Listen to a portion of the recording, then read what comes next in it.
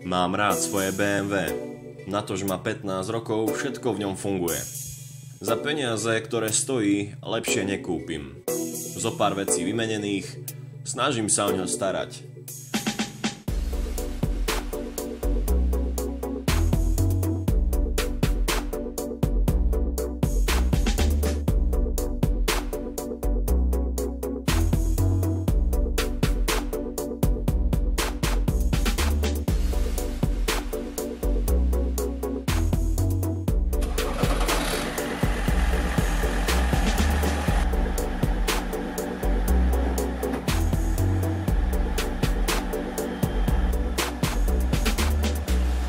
Nie som z tých ľudí, ktorí veria slovám. Preto som to overil na vlastnom aute. A viete čo? Funguje to.